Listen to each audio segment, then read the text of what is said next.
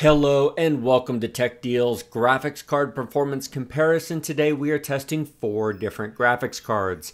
The RX 570 4GB card against the GTX 1060 3GB card, the RX 580 8GB card against the GTX 1060 6 gigabyte card. Now these cards range in price from about $170 to about $250 when I'm filming this in 2017. There will be links in the video description below to both Amazon and Newegg for all four sets of graphics cards. By all means, compare prices and buy it where it makes the most sense to you.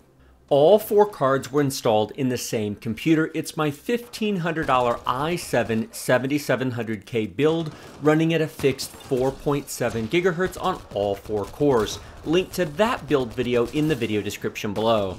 Fraps was used for the frame performance numbers you will see at the end of this video, but it was not used to capture any of this video.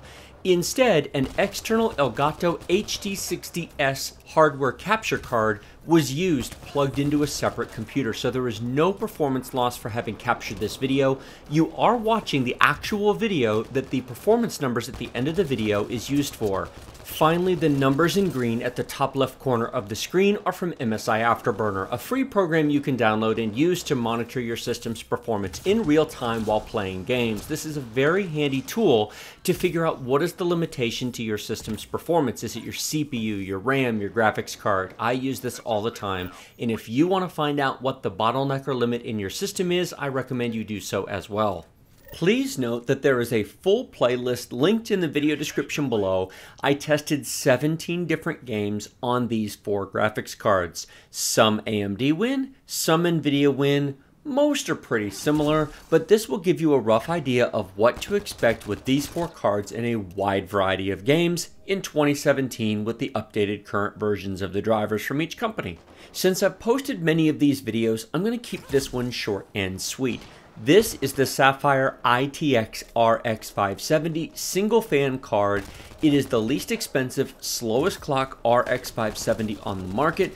Most of them are going to be a little bit faster than this. The RX 580, which I'll talk more about in a second when we get to that footage, is one of the fastest RX 580s on the market. So I've bracketed or bookended the market with the slow RX 570, the fast RX 580 to give you an idea. Most cards will fall in between the two in performance. If you look at the real-time numbers in the upper left-hand corner, you'll see we're using 3.7 gigabytes of VRAM, 100% of our GPU. We are in fact graphics card limited here. Temp, fan speeds are all up there. Look at our CPU usage. If this were an i5 instead of an i7, we'd basically be getting the same performance so long as the clock speed was the same. Even if the clock speed was a little slower, we are primarily graphics card limited, not CPU limited. We'd have to have a lot more graphics card before the CPU became a limitation. Main system RAM, 7.5 gigabytes. It'll run in 8, it's smoother in 16. I've commented on this on my channel before. 16 gigs of RAM is where it's at for 2017. Finally, frame rate. Looks good, doesn't it? Well, yes, it comes and it goes. You'll see it varying. It's at 97, there's 105, then it dips down to 70. It fluctuates by quite a bit depending upon what's on the screen, zoomed in, etc. Now this is multiplayer, this is not the story mode. Some parts of the story mode are worse than multiplayer. Some parts are better. It depends where in the game you're at. I gave a great deal of thought actually as to where in the game to test. Multiplayer, single player, do I test on a planet? Do I test uh, in combat? Do I test in a story mission? Do I do random exploration and killing out in the desert, for example, or on the ice world? Therein lies the challenge of testing in the story is there's so many different places to test and performance frankly is all over the place in story mode. Multiplayer is a little bit more repeatable. Uh, granted, the maps and the enemies are slightly different, but at least the size of the combat, what you're doing, doesn't actually change all that much. And it's kind of nameless and faceless, and there's no cutscenes to get in the way of frame rate, so we're doing multiplayer. The other reason I'm testing multiplayer is simply because three months from now, six months from now, I think multiplayer is going to be where the remaining interest in this game is. People who wanted to play this game, of course, except for those who pick it up on discount in the future, will have done so closer to launch, but people may very well be playing multiplayer for years. I know the Mass Effect 3 multiplayer servers are still moderately active. I've gone on there a couple of times and played it. I was really big with the Mass Effect 3 multiplayer when it first launched. Although, to be completely frank, it did get kind of old pretty quickly, and if they don't add new modes or new maps to this, well, we'll have to see how that holds up and what the interest level is. So this has been the RX 570. Let's take a look at the GTX 1060 3GB card. Now, we are playing in ultra detail, and this is the MSI Gaming X 3GB card. This is the big black and red graphics card. Big oversized heatsink, big oversized fans, which is all quite frankly overkill for a GTX 1060 3GB card, but hey, it looks nice and it runs very cool and very quiet. Look at our temps, 62 degrees Celsius. That is no big deal for this graphics card. 32% fan speed, 800 RPM. This thing is absolutely 100% totally silent. Frankly, sticking my head next to the computer, I can't hear it. The case fans and the liquid cooler are louder. This card has good overclocking potential. In fact, most of the factory overclocked big fan cards do.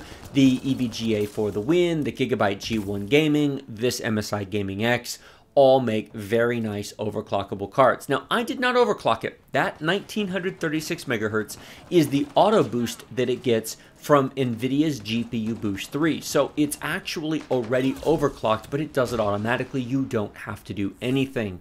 Still, with this wonderful card and this big heatsink and cooler, if you decide to get this, open up, uh, download and install MSI Afterburner, and be sure to open it up and type a plus 65 into the clock speed. It'll throw you up right to 2 gigahertz even. It's not going to have any issues running at 2 gigahertz. You may even get 2.1 out of it. You can play with it, maybe type in a plus 100, plus 115. You should be just fine. This cooler is so big and so over engineered for a GTX 1060. I am not remotely worried about running it at anywhere in the 2 gigahertz, maybe 2.1 range. I would advise you, unless you really know what you're doing, don't mess with voltage. The worst thing that will happen if you up the clock speed of the card is it will simply crash the machine. You'll you'll simply go to black or blue screen and you'll have to reboot and then try a different setting. You will not hurt your card by running it at too a high clock speed because it has thermal protection. It will not overtemp. However, voltage kills cards. If you mess with the voltage and you accidentally type in too large of a voltage, you can fry your graphics card almost immediately. My recommendation for most people, don't mess with the voltage, only mess with the clock speed. You won't hurt the card using clock speed, but voltage is what will kill it. Now take a look at our real-time performance. We're at 62, 67, 71 frames per second. It's really quite good all things considered. But look at our VRAM usage. Now it has to be lower because we only have a 3 gigabyte card. Do I recommend in 2017 you buy a 3 gig card? Not really. I did last year, but the reason I changed my advice is two reasons. We're 9 months post launch of the 3 gigabyte cards and the prices have dropped. There was a $60 price difference between the 3 and the 6 gig cards when they launched, and now there's only a $30 difference. In fact, with mail in rebates, sometimes you can get it down to even less. These 6 gig cards are 10% faster in terms of base performance because there's more CUDA cores, and they have double the VRAM. For $30, that's a deal. The only time I'd recommend the 3 gig card is if you really only play older or casual games, or you simply can find an amazing deal for one for more than $30 less than the 6 gig version. So this has been the GTX 1060. How about we look at the RX 580? I really like this new RX 580. Now, this card specifically, but the RX 580s in general. The price of the 8GB cards has dropped dramatically, and I do recommend an 8GB RX 580 at this point in 2017. Why? Because the price difference, just like the NVIDIA cards, has now dropped. There is only about a $30 price difference between the 4GB and the 8GB cards. Now, performance-wise, they're the same. There's no shader count difference between a 580 4 gig and a 580 8 gig. However, many of the 8 gigs are factory overclocked, and so their out-of-the-box clock speeds are higher. Although you can overclock the 4 gig cards and get effectively the same thing. That being said, if you're prepared to spend $200 on a graphics card and we're in the middle of 2017, spend $230, get the 8 gigs of VRAM. No, you don't really need it today. It's fine. 4 gigs will play absolutely everything in the market today at 1080p without any issues whatsoever, even at ultra detail. But what about next year? Are you buying a card for just one year or are you buying a card for three years? At this point, with a $30 price difference, get the 8 gig card. I think over three years of ownership, it will pay for itself easily. Now this is the Gigabyte Aorus factory overclocked card 1425 megahertz versus the base speed of 1340 of standard RX 580s. Now in terms of raw performance per dollar spent, is this card the best deal on the market? No, not really. The increase in performance is not matched by the increase in price. Or to put it more specifically, the price went up faster than the performance did. That's not why you buy this card. Yes, it's faster, but most RX 480s should overclock to 1400 megahertz if you want to manually set them there. What this card will do is it'll do 1425 at 39 40% uh, fan speed. Many basic entry level RX 580s may take 50 or 60% fan speed to do it, so you're getting silence. This thing is a huge card two and a half slots wide. If you only have two slots available, don't get this card because it won't fit. Huge oversized heatsink, big 100 millimeter fans, RGB lighting. Hey, it's 2017, RGB everything. This has an 8 pin and a 6 pin PCI Express power connector. To the best of my knowledge, it's the only card except for the Sapphire Nitro Limited Edition card, which is similar price, similar performance to this. All the other RX 580s have a single 8 pin connector. This also has a 6 pin up to 300 watts, which is complete overkill for this card. It's never going to pull 300 watts of power, but it simply removes all restrictions of power delivery, meaning temps and voltage are your only limits to overclocking. How's performance? Wonderful. Well, you can see the real-time numbers. That's what we do these videos for. I know I could simply throw up some charts, but let's be honest, this shows you how the game really plays. This is very, very good. The responsiveness of multiplayer in Mass Effect Andromeda on all four cards is very good. Now, the frame rate is much better on this than the RX 570, but the truth is, is the RX 570 is completely playable. In my opinion, with a 570, I would however turn the detail down to high instead of ultra. It does remove just a bit of hesitation at various busy points in the game, and it will give you a little bit more even frame rate, especially when compared to the frame rate you get on the RX 580. Look at that, we're at 110, 120 frames a second, but look how much it changes we bounce between 110 and 120 and down to 70 at times. So it's extremely variable. If you have a 1080p 60 Hz monitor, turn VSync on and you'll get a smooth solid 60 frames a second that doesn't vary. Perfect performance. Well, that's enough of the RX 580. Let's take a look at the 6GB version of the GTX 1060. Now, as I said before, the 6GB version does have more actual compute resources on the card called CUDA cores. So it has about 10%, eh, give or take, more processing power than the 3 gigabyte card, and of course, double the VRAM. Now, when this card launched, it was $60 more, but frankly, it's now $30 more. Buy the 6 gigabyte card, it's the deal. This is the EVGA for the Win card. I did not recommend the For the Win card when this first came out. In fact, just a few months ago in January of 2017, I did an updated which GTX 1060 should you buy, and I specifically said, don't bother with the For the Win, waste of money, don't spend the money. What's changed? Price. This card launched at $300. It's not worth $300. Last week, this card was selling for under 230 on Newegg. That is a completely different story. In fact, when I did the voiceover of this video, there was only a $10 price difference between the single fan superclocked EVGA and the For the Win dual fan EVGA. Both 6 gig cards, both were just over $210. For that price, sure, if you've got a computer with an 8 pin PCI Express power connector and room for the 2 fan card, get the For the Win. Now, performance-wise out of the box, it's no faster, and I demonstrated that in that video back in January.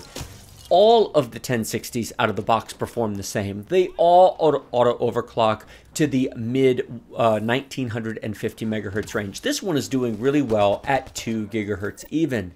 What's interesting is the amount it overclocks varies from game to game and sometimes even load to load. If you watched my Assassin's Creed Syndicate test with these four cards, I tested it at high detail on this card and it was at 2000 megahertz even. I reloaded the game at very high detail, which does require a relaunch of the game, and it booted up at 1987 megahertz. Go figure. I find that it varies by 12 to 13 megahertz from run to run and launch to launch, but usually not much more than that. And you'll never notice that difference in the real world. That 12 or 13 megahertz out of 2 gigahertz is a completely trivial difference. Don't worry about it. All the other performance metrics are very nice. We're using 3.5 gigs of VRAM, we're not even using 50% of our i7 CPU, so an i5 would in fact be fine, at least if it has a decent clock speed. It'll be a little slower if you've got a stock or a locked i5 in the 3.5 gigahertz range, but certainly if you have an unlocked i7, it's going to perform just as well as this. Main system RAM usage is pretty consistent across the board. Most modern AAA gaming titles in 2017 seem to use between 6.5 and 8.5 gigabytes of, of main system RAM. And here we are at the results. Ultra detail, 1080p, all four cards average over 60 frames per second. The green bars are the average. The two lower end 4 and 3 gig cards, almost exactly the same performance on all three metrics. The two higher end, the 8 gig and the 6 gig cards, also almost the same performance. Now please note, the maps were a little bit different between the runs, the enemies, it's, it's, a, it's online multiplayer, so the performance is never going to be exact. Here's the reality of my experience of messing around with these. The two lower end cards are virtually identical in performance. The 4 and the 3 gigabyte card, very nice. Now the RX 580 looks like it's winning here. If I were to swap the maps and swap the missions and run these three more times, those numbers would shift around plus or minus a little bit. The truth is, for 1080p Ultra gaming, an RX 580 8GB card or a GTX 1060 6GB card is my recommendation in 2017 for value for the money while providing a completely playable experience.